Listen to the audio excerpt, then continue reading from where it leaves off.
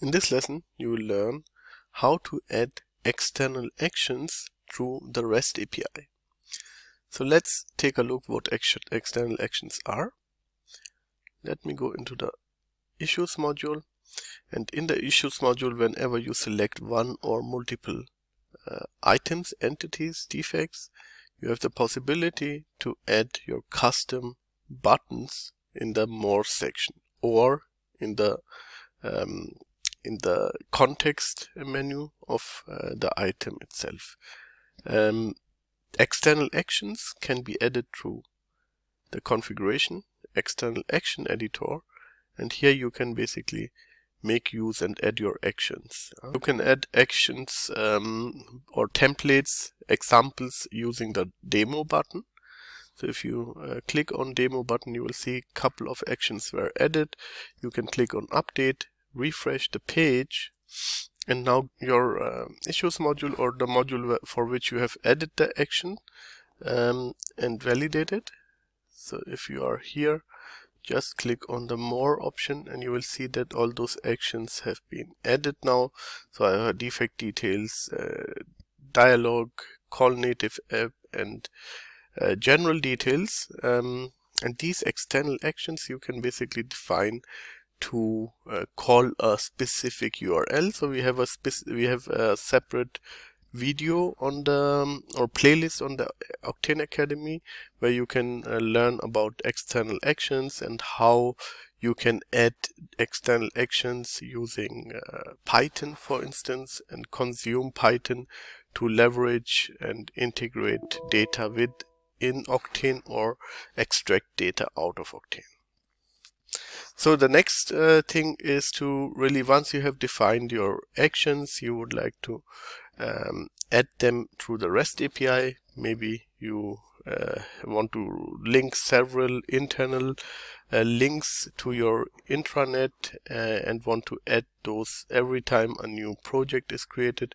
You want to run a script using uh, REST API which should add all those actions to the projects. So basically what you can do is let's first remove all the actions we have added. So update and go back. So the best way to find out this is um, to open the browser uh, developer tools yeah, and navigate back to the external action editor clean up everything here, load the demo. And now the moment you click on update, you will see something is happening here.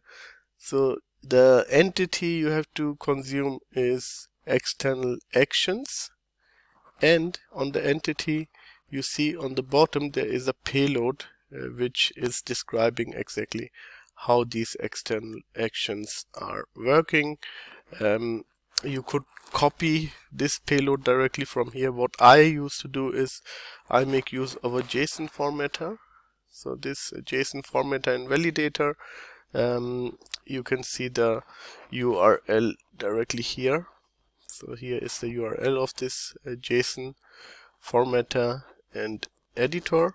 And I paste usually the links directly here in the editor and copy it then out of here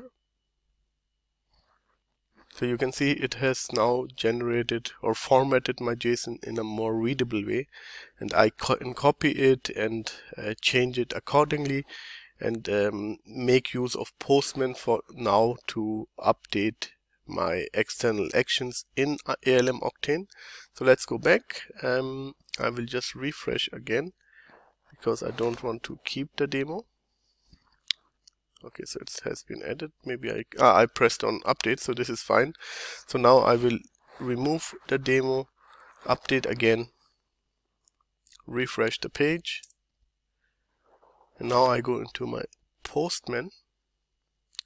I'm basically using the Octane Academy uh, Postman collection. And I have here um, external action uh, folder where I can first of all get all the external actions which I have. So I can click here on um, get and you can see it's currently empty. And the other one would be to really add external actions. Um, here you can see you have to do a put request. And on the shared spaces directly you have to do the external entity actions uh, resource and on that resource you copy the data you have just uh, um, copied from the JSON validator format and validator. I have here a specific configuration built for me where uh, we have some games uh, we would like to publish on the shared space um, and I can uh, do it directly from here. So once you have added your data here in this structure by defining the name, the title, the entity type where this game should appear, the views in list or also in details, you have the icon uh, for system, um, URL and if it is for single entity or multiple entities.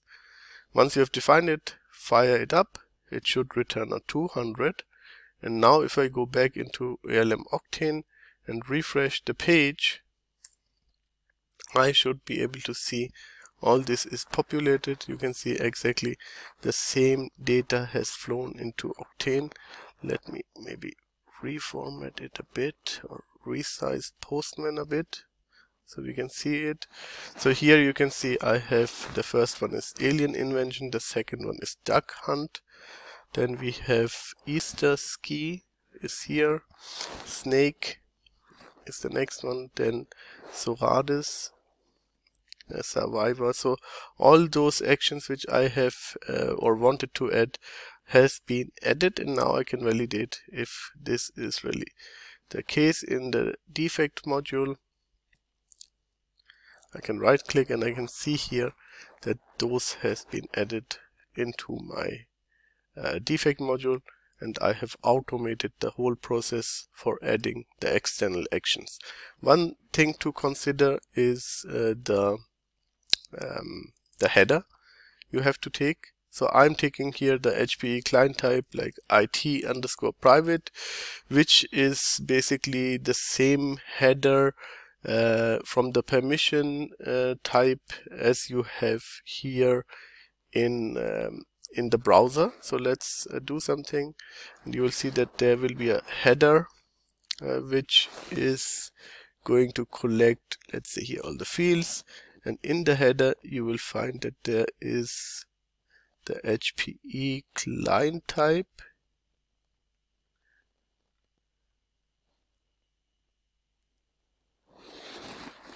Okay this is the wrong one. So here we should have it. So we have here a request header with HPE client type HPE underscore MQM underscore UI. Um, if you use this header, uh, Octane will then also uh, use a license from here, from Postman. Um, so it's better to use the IT underscore private header um, which will allow you to really do the same what you can do from the browser also accessing some private uh, resources of Octane um, and uh, manipulate the data as you want to do it.